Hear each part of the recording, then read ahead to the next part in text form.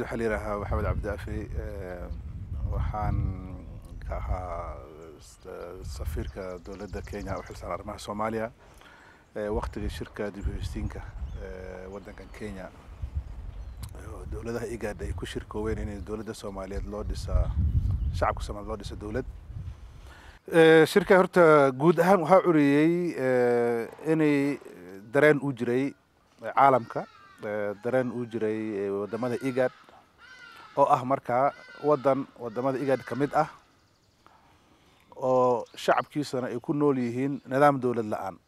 Muddo dhowr iyo toban sano si dowladdii hore ay u dhacday. Isla markaasna markaa la dareensan yahay inay shir uu ka dhacay jabuuti sannadkii labada kun. Shirkaas oo maaragtay dowlad lagu soo dhisay. Dowladdii oo markaa waktigeeda dhammaanayay labada kun iyo iyo saddexdii ayuu dhammaanayay. Labadii kun yaalaa la soo dhisay dowladda oo cabdiqaasin uu madaxweyne ka noqday. Iyadoo markaa la fahmay inay dowladdii sidii loo rabay u shaqaynin maadaama sida ay dhacday in la hela marka institutions bedela dowladdaasi. Marka waxaa noqotay arrin aada iyo aada u adag in isbeddel lagu sameeyo waddanka gudihiisa oo markaa dowladdaasi loo helo dowlad kaloo bedesho gudaha waddanka iyadoo darifooyinka markaa darifooyinka jiray ay ahaayeen security-ga ugu xoog badnaa nabadgelya darra marka waxaa shiray waddamada igad oo markaasna soomaaliya ay ka mid ay tahay oo madaxweynaheeda u fadhiya. Sidii markaa loo helay nidaam bedela nidaamkii lagu soo dhisay carta dowlad markaa waddankii ku soo celin karta nabadgelyo. Kala dambeyn iyo demoqrasiya ulojeedada xooggeeda waddamada igad ay ka mid haysnaan midaas ay ahayd. Waxay noqotay marka in la doono in walba oo hub haysata.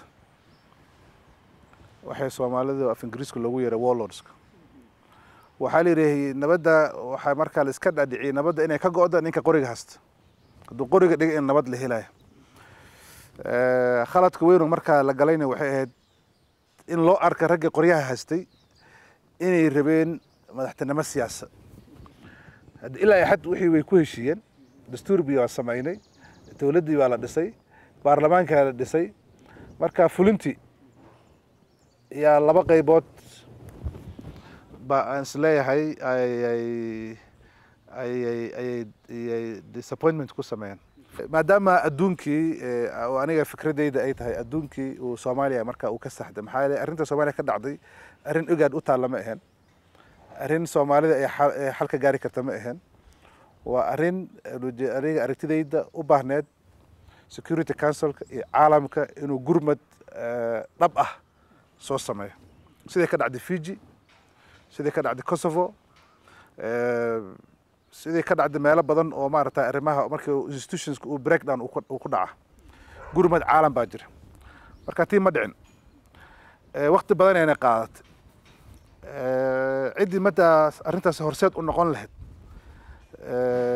Ilaa dowladaha yani security councilka xooga ku leh waxaa ugu horeysa maraykanka. Kuwii horseed ka noqon lahay arrinta diiday inay horseed ka noqdaan. Maxaa yeelay waxay arkeen inay ku fashilmeen unisom marka waxay yidhaahdeen tanna ha ku fashilmina mistake ayay ahayd oo caalamka soomaaliya uu ka galay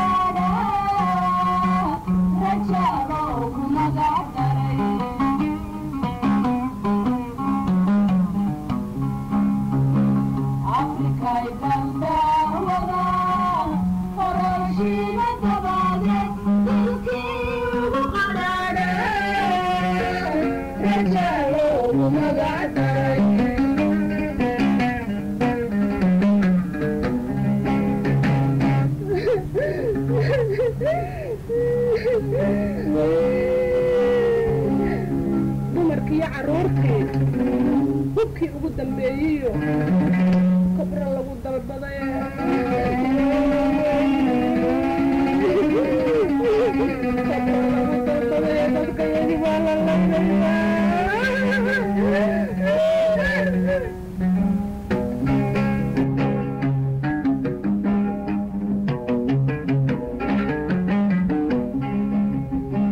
اليهد والكذب كرهتكم له حصر خير إياه والكذب كرهتكم له حصر خير